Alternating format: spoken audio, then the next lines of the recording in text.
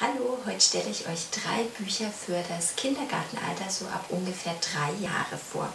Wir starten mit Frédéric Bertrand, Wir haben doch keine Angst im Dunkeln. Psst, hört ihr das auch? Das klingt ja fast so, als hätte sich ein Monster unter dem Bett versteckt.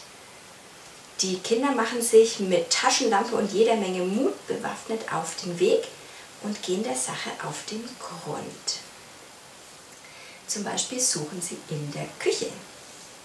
Oh nein, es hat sogar seine Monsterfreunde dabei. Puh, das ist nur die Spüle und der Ofen und die Kaffeemaschine. Oh je, ich glaube, dann sitzt es bestimmt im Keller.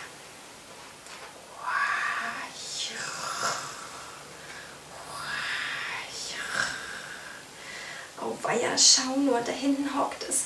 Das ist ja furchtbar groß. Und es hat voll lange Hörner. Ich will lieber wieder ins Bett. Hm, das ist aber auch nicht das Monster. Nee, das ist das alte Heizdings, über das Mama immer so schimpft. Dann gibt es nur noch ein Zimmer, wo es sein kann. Das Wohnzimmer.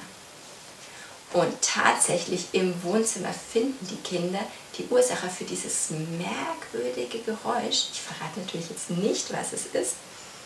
Durch diese Klappen mit dem Hell-Dunkel-Effekt ist das Buch prima, um den Kindern spielerisch zu erklären, dass es viele Dinge gibt, die im Dunkeln vielleicht gruselig aussehen, aber dass sich da völlig harmlose Dinge dahinter verbergen.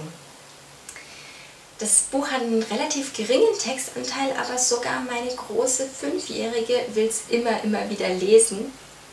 Wir haben doch keine Angst im Dunkeln ist beim Löwe Verlag erschienen und kostet 13 Euro. Als nächstes möchte ich euch den zweiten Band von der Reihe um meinen Lieblingsaffen mit schlechter Laune vorstellen. Diesmal hat Jim keinen Bock. Und zwar auf die Party von Stachelschwein, denn Nick sagt ihm, dass man da ja super tanzen kann. Aber Jim kann ja gar nicht tanzen. Das geht natürlich nicht. Sofort kriegt er tierische Nachhilfe aus dem ganzen Urwald jeder hat einen anderen Tipp für ihn. Er soll den Rhythmus fühlen, er soll zeigen, was er drauf hat und die Paviane finden, er muss unbedingt mit dem Hintern wackeln. Und es funktioniert. Jim kann also wirklich jetzt tanzen. Also ab zur Party und auf die Tanzfläche. Alle haben einen Mordspaß. Naja, wirklich alle?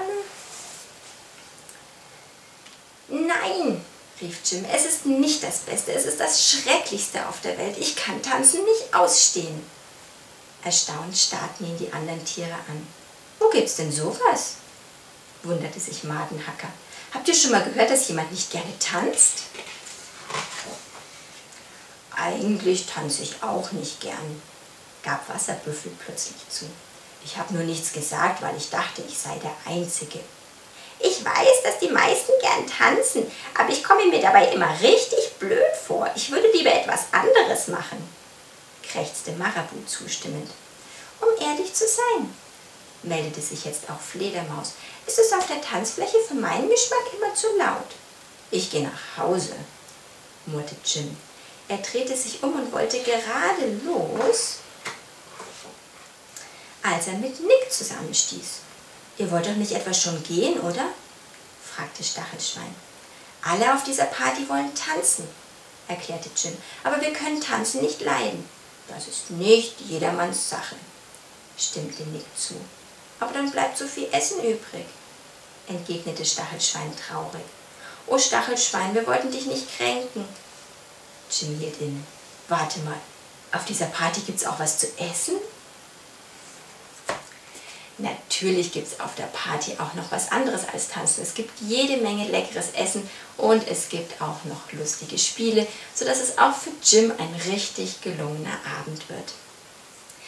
Auch der zweite Band der Jim-Reihe von Suzanne und Max Lang thematisiert, dass es völlig normal ist, auch mal andere Gefühle zu haben als der ganze Rest der Tierbande und dass man ein Problem nur lösen kann, wenn man auch wirklich sagt, was man fühlt. Jim hat keinen Bock, erschien bei Löwe und kostet ebenfalls 13 Euro.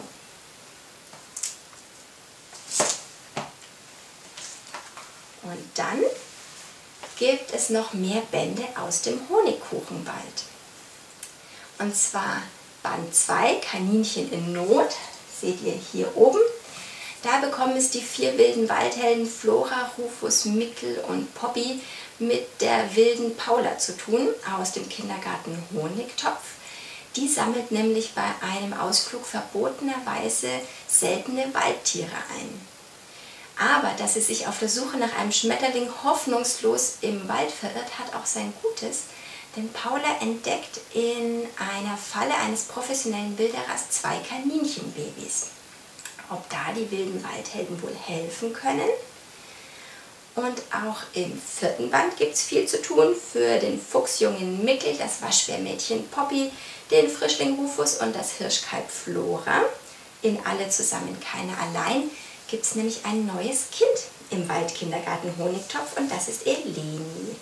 Und bei Eleni ist manches ein bisschen anders als bei anderen Kindern. Und wir hören jetzt mal rein, wie die Erzieherin, die die kleinen Waldhelden immer die Hexe nennen, das erklärt. Also, was ich euch erklären wollte ist, fährt die kleine Hexe fort, dass es in Elenis Körper bei diesen Zetteln eine Besonderheit gibt. Jetzt sind plötzlich alle ganz still. Der 21. Zettel kommt in jeder ihrer Zellen dreimal vor, statt zweimal. Es ist also eine Kopie mehr darin, sagt die kleine Hexe. Ist das schlimm? fragt das Kind an Valentinas anderer Seite besorgt und kuschelt sich tiefer in ihren Schoß. Die kleine Hexe schüttelt den Kopf. Nein, es bringt nur ein bisschen was durcheinander und führt dazu, dass Kinder, bei denen das so ist, in manchen Dingen verschieden sind. Das Ganze nennt man Down-Syndrom oder auch Trisomie 21. Fragend sehen die Kinder zwischen der kleinen Hexe und Eleni hin und her. Diego knetet seinen Knibbelstern. Bist du also krank? stößt er hervor. Nein, platzt es da aus Eleni heraus, die schon die ganze Zeit unruhig neben Valentina hin und her gezappelt ist. Jetzt sag ich das mal, ja? ruft sie und Valentina streichelt ihr aufmunternd über den Rücken. Ich bin doch nicht krank. Eleni wirft den Kopf zurück und lacht. Ich habe Down-Syndrom. Das ist nicht ansteckend. Das ist einfach so in mir drin. Ich habe drei, von was ihr nur zwei habt und das ist alles fertig. Paula klatscht erleichtert in die Hände. Eben, Mann Valentina, du hast es so kompliziert erklärt mit den ganzen Zetteln. Das kapiert ja kein Mensch. Die Kinder lachen. Es ist doch total normal, verschieden zu sein. Eleni ist halt ein Kleeblatt mit einem Blatt mehr und das bringt doch voll Glück, oder nicht? Und dieses Glück können die vier wilden Waldhelden und die Kinder aus dem Honigtopf auch super brauchen, denn es hat sich eine kleine Katze in den Wald verirrt. Die ist ausgesetzt worden und hat dementsprechend kein Zutrauen mehr zu Menschen. Und die vier wilden Waldhelden überlegen sich, dass sie den Kindern eine Pferde legen, damit sie die Katze finden. Was sie nicht bedacht haben, ist, dass so eine scheue kleine Katze natürlich Reiß ausnimmt vor einer ganzen Horde wilder Kindergartenkinder. Aber zum Glück gibt es da ja noch Eleni, die ganz ruhig und aufmerksam ist und dabei sofort spürt, was die kleine Katze braucht. Die Reihe von Andreas Schütze ist super für Kindergartenkinder, die neugierig auf Wald und auf Tiere sind. Man lernt nebenbei richtig viel über Wald und über die verschiedenen Tiere im Wald. Und es werden auch schwierige Themen angeschnitten, aber mit der Art, ähm, die Kindern zu eigen ist, die ja ähm, komplizierte Sachverhalte oft viel schneller irgendwie akzeptieren als wir Erwachsenen. Von den vier wilden Waldhelden gibt es inzwischen vier Bände und die kosten jeweils 12 Euro und sind bei Ellermann erschienen.